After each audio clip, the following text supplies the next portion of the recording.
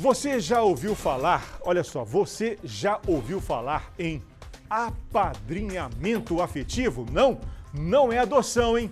O padrinho ou madrinha são figuras que têm muita afinidade, têm a representatividade de um parente próximo e às vezes esse carinho é igual ao de pais para filhos. A gente, gente, olha só, a história é a seguir, é uma história gigante, viu? Tem afeto e emoção. Lucas Alves e Wellington Cunha contam pra gente. Um outro olhar para as crianças e os adolescentes atendidos no serviço de acolhimento em Governador Valadares pode fazer a diferença. O afastamento de um deles do convívio com a família de origem nunca é desejável. Pelo contrário, pode ser a última medida a ser tomada, depois que todas as alternativas de permanência foram esgotadas. A coordenadora da Casa Lar Municipal explica que são quatro os tipos de apadrinhamento. O programa de apadrinhamento ele é um programa que visa proporcionar para as crianças que estão acolhidas uma oportunidade de uma vivência diferenciada. Hoje nós temos crianças acolhidas em instituições de acolhimento, como é o nosso caso, né, a Casa Lá, mas nós também temos crianças acolhidas em acolhimento familiar, que são as famílias acolhedoras.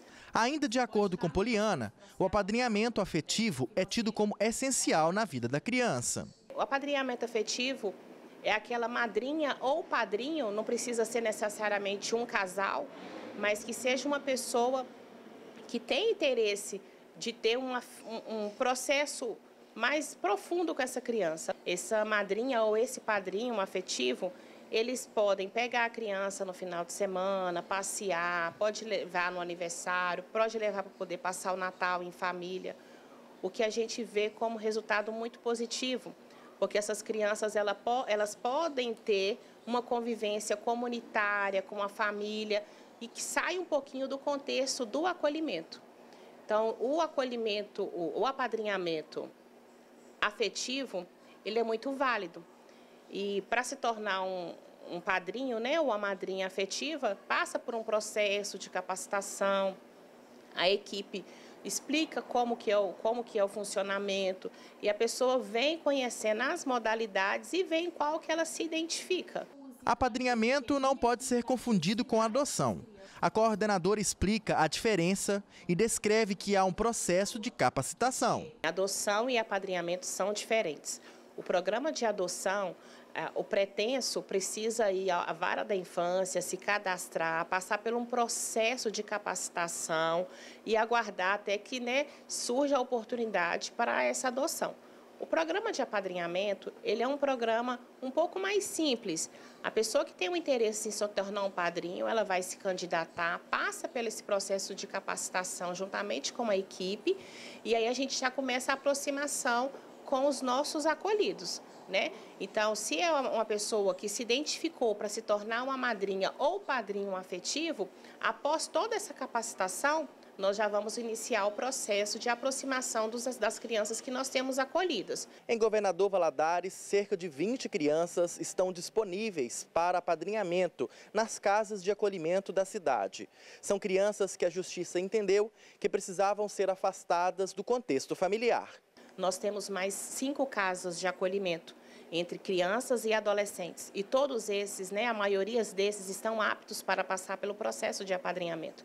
Então, é muito importante que a comunidade adere a esses programas de apadrinhamento, porque não tem ideia do bem que podem estar proporcionando para essas crianças e esses adolescentes. Com brilho nos olhos e sorriso no rosto, Ana Kellen contou sobre a experiência de ser madrinha afetiva de um adolescente de 14 anos. A secretária administrativa criou um vínculo com o afilhado que dura mais de um ano. O meu afilhado eu conheci através de um outro trabalho social que eu faço, que é o trabalho de capelania. E através desse trabalho de capelania, é, estava se precisando de voluntários para poder acompanhar é, o meu afilhado no hospital. Foi lá quando ele chegou ao hospital. E quando eu cheguei ali no hospital, eu fui com o intuito, estou indo ali é, ajudar é, uma criança que está precisando. Mas quando eu cheguei e conheci essa criança, gente, é, eu acho que eu é que fui cuidada, eu que fui acolhida por essa criança. E eu passei ali alguns meses indo uma vez por semana passar um período com ele, porque tinha outros voluntários que também estavam colaborando. E quando ele saiu do hospital foi muito choro, ele deixou um impacto muito sim, positivo com a equipe que cuidava dele. Eu fiz questão de saber para onde ele estava sendo levado, que eu gostaria de continuar visitando. Então ele foi trago para a casa de acolhimento e logo em seguida já vim para cá e desde então eu continuei é, acolhendo e acompanhando o meu afilhado. Ana explica que o afilhado dela se desenvolveu bastante em diversas áreas, como nos estudos e no comportamento. Eu vejo que a melhora com relação à comunicação, comportamento, com relação aos estudos. Então, eu acho que isso traz um vínculo muito positivo para ele e muito satisfatório para mim saber que eu estou podendo colaborar positivamente com o desenvolvimento de um adolescente. Com a proposta de levar o lazer e uma nova experiência de convívio familiar, o afilhado não mora com a madrinha ou padrinho. Ana fala sobre a rotina com o adolescente. A primeira coisa é o contato né, com a coordenação da, da casa de acolhimento.